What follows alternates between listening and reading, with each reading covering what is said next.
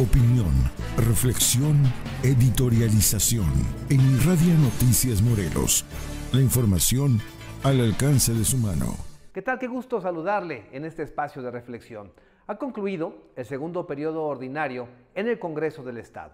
Se entra en la etapa en donde queda constituida una comisión permanente que atiende asuntos extraordinarios. No se percibe alguno de urgencia que permita volver a ser convocados. Sin embargo, también es el momento de la reflexión, aunque ya se están haciendo algunos planteamientos, algunas llamadas. La diputada Mirna Zavala propone la renovación de la mesa directiva en base a la pluralidad del Congreso.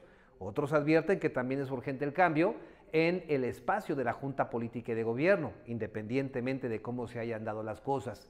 Otros eh, legisladores advierten que es el momento de la reflexión profunda para saber en qué ánimo y con qué conducta van a volver a la tercera oportunidad de legislar.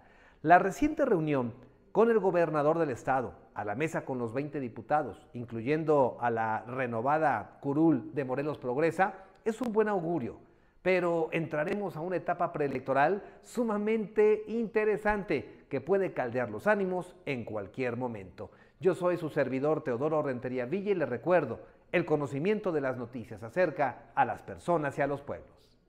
Opinión, reflexión, editorialización.